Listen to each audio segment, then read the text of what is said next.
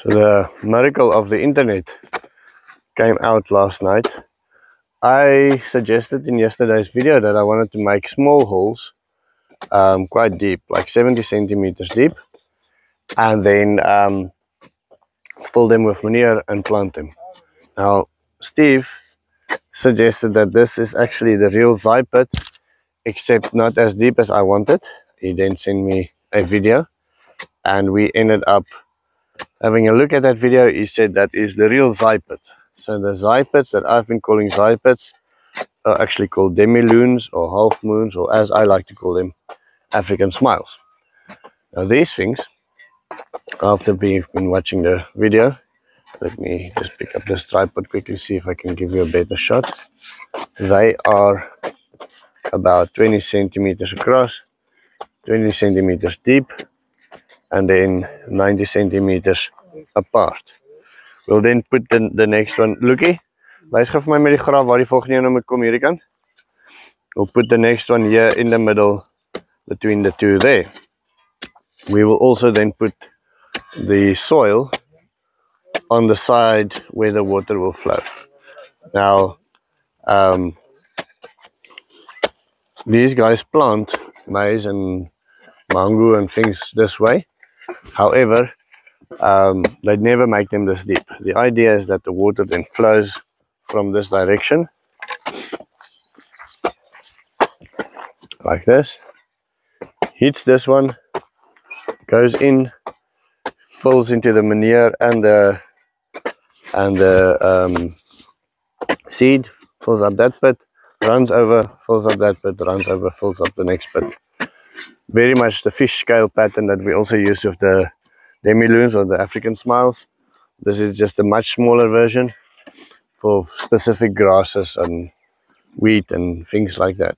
Uh, sorghum and corn and everything that you wanted to plant that way. Right. Um, the reason why we chose this location is because it is one of our more desolated locations. We don't have loads of local grasses left here. Um, there's a couple of bushes that we will be interplanting. We will leave the traditional or the local bushes in the veld here. And the other reason is that uh, we have a water point right over there. Now the negative is this is our topsoil is far away from the house, so yeah, we will might have a problem with uh, uh, like this Visanta birds scratching our things. And yesterday I found some antelope tracks in this waterhole here. like a small deer. He came in.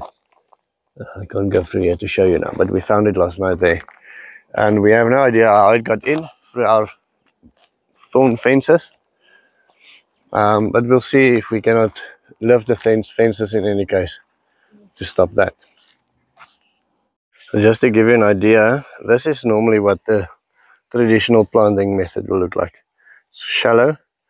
The soil is dug up in any direction um, and then planted when it rains and it washed over the first time the little pit disappears completely they look something like this. You can almost not see them.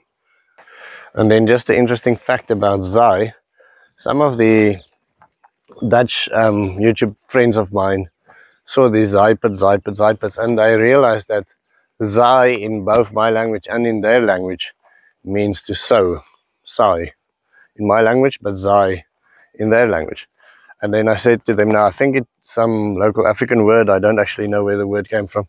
They did the research and it uh, came out that it means abundance. So these things are called abundance pits, which I think is quite beautiful. Can you imagine how much better these corn would have looked like if all of them were dug in little pits that held so much water every time it rained. I think it would have been a hell of a difference that would have happened here. Right, uh, then I also wanted to give you a drone overview. So this is drone footage. I set, made the setting on cinema. I'm still learning, but the turning is at least a little bit slower.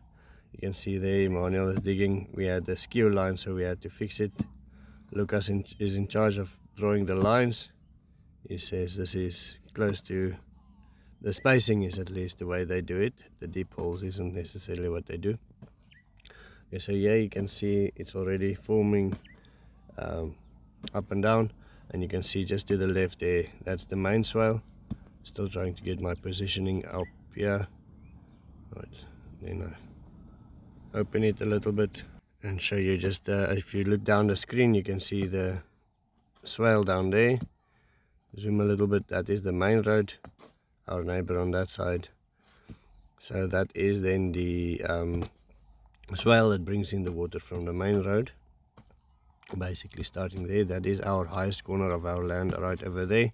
So this is quite far away from from the house. This is now the main swale um, just below the highest point of our so it's not the longest point on the land but I wanted to be able to push water back and not have it run over the road.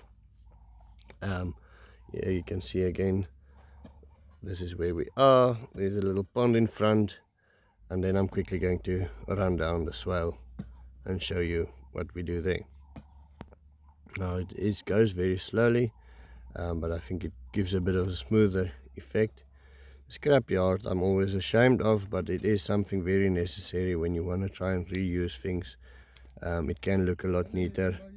Those two planks are placed there with the, by the kids. They were building bridges and things like that um, here you can see the greenery on the swale coming up and then on the left of the screen you can see those are the areas where we planted there in the middle of the screen that's maize and then on the right that is um, our vegetable garden.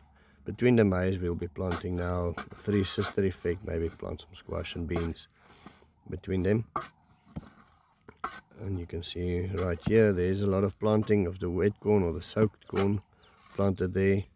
I wish we did that in deeper pits. But so you learn. We'll maybe we'll change that if those ones doesn't come up.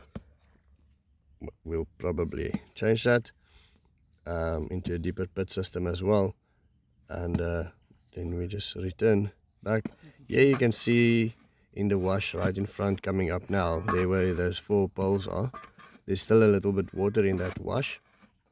And so here the swale went across across the wash and that kept a lot of water in the swale and just while you hit that subscribe button i'm going to show you we ended up doing three extra zai pits yesterday.